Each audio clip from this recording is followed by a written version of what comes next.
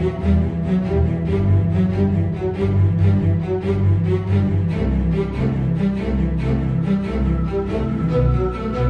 you.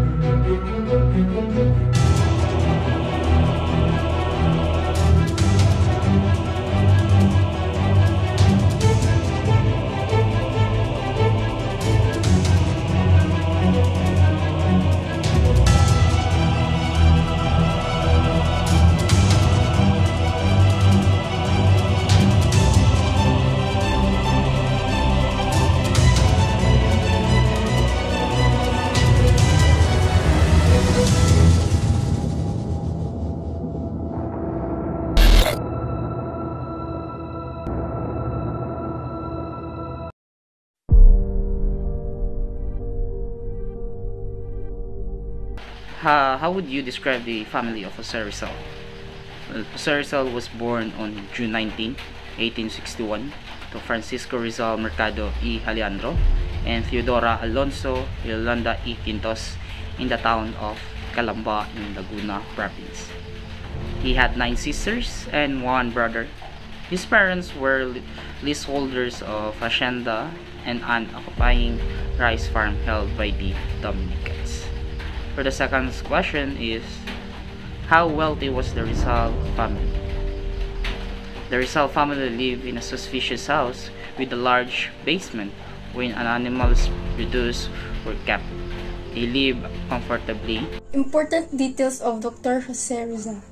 Jose Protasio Rizal Mercado y Alonso Realonda was a patriot, physician, poet par excellence, and a novelist who inspired the Philippine nationalist movement. He died at the age of 35, executed by the Spanish colonial master, who ruled the Philippines for 350 years.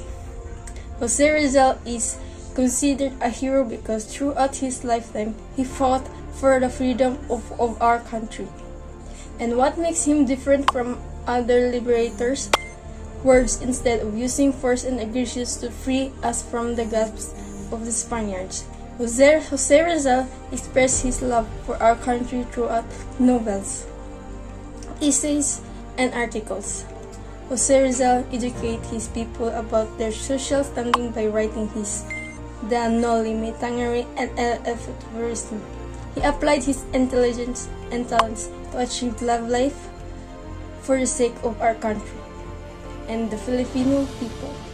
Even after the death of Jose Rizal, these pieces of literature enabled the Filipinos to inherit the spirit of Rizal, and eventually the Filipinos to achieve victory. Rizal will be remembered as a Philippine national hero and the heart of the Philippines revolution by every Filipino.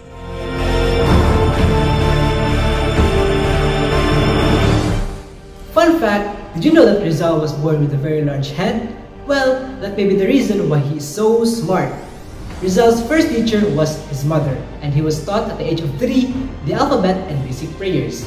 At the age of 5, Rizal's talent in pencil sketches and clay moldings were discovered, and at the age of 8, he wrote his first poem entitled Sa Aking Mga Kababata, in which the theme revolves around the love of our language. Rizal was first privately tutored by Celestino and by Padua and lastly Monroy, who was the classmate of Rizal's father. After Monroy's death, Rizal was sent to study in a private school in Biñan.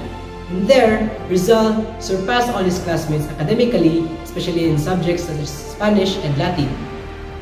Because of Rizal's intellectual superiority, uh, Rizal was bullied and his classmates even told him lies just to discredit him from the eyes of their teacher. Nevertheless, Rizal was still one of the best students in class. Rizal also studied in Ateneo Municipal de Manila, where he gained his Bachelor of Arts degree in 1877. Jose Rizal studied philosophy and letters during his first year in the University of Santo Tomas. Rizal was unhappy at his Dominican institution due to discrimination of Filipino students against the Spaniards. Rizal decided to study in Spain after finishing the fourth year of his medical course. In Spain, he continued his studies in medicine at the Universidad Central de Madrid. He finished the degree of licentiate in medicine in 1884 and finished degree of philosophy and letters in 1885. He finished his studies and this to him was the realization of the bigger part of his ambition. Rizal studied in University of Heidelberg and completed in 1887 his eye specialization. Rizal excelled at martial arts, teaching, journalism, and many other.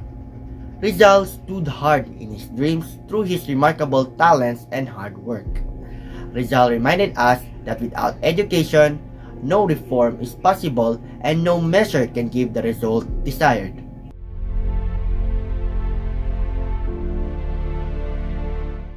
Dr. Rizal was a famous writer. He undeniably excelled and made fun of it. Two of his most prominent writings are Noli Me Tangere and El Filibusterismo. Both works were influenced by Rizal's worldview, philosophies, and way of life during Spanish colonial period. It is about the fictional Philippines that is based on politics and history. One of the reasons why he wrote these books was to make a reform. He emphasized the deeds of the colonizers on how they illfully treated Filipinos and pushed them to work on heavy loads.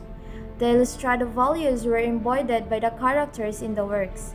Additionally, it portrays the notions of Filipino as a people that are unified in their experience of oppression. Dr. Jose Rizal admitted that the title of his novel, Noli Me Tangere, was derived from the passage in the Bible in which Jesus said to Mary Magdalene, Don't touch me. The main purpose of this novel was to show the lives of the Filipino people during the Spanish colonial period in which they cry and suffer against the abusive Spanish officials. He wanted to expose the cruelty and corruption of the government because the Filipino people were ignorant that time. Noli Me Tangere is considered to be romantic, but it is more socio-historical because of its nature, and most of the issues discussed in the novel can still be seen today. Spanish colonial authorities that time declared it as against the government. After Rizal learned the death of Mariano Gomez, Jose Burgos, and Jacinto Zamora, this put an indelible ink in his mind as he wrote the sequel of his first novel entitled El Filibusterismo, which means the reign of greed. He expressed conviction that their treatment and deaths at the hand of the Spanish authorities was unjust. Noli Me Tangere was much different than El Filibusterismo. With Noli Me Tangere, Rizal encouraged the people to ask and aspire for change and liberation.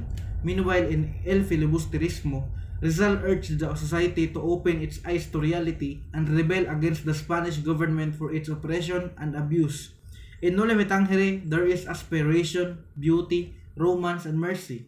In El Filibusterismo, the, reader, the readers will only feel bitterness and hatred, and even the characters' personalities seem to have undergone radical change. Because of this, he was executed by the Spanish colonial government for the crime of rebellion after the Philippine, Philippine Revolution broke out because it was inspired by his writings.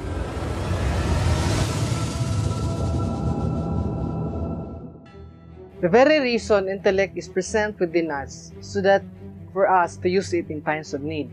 That intellect roots from education, which we hope that it doesn't blind us from the truth, but only to reveal what we truly desire, justice.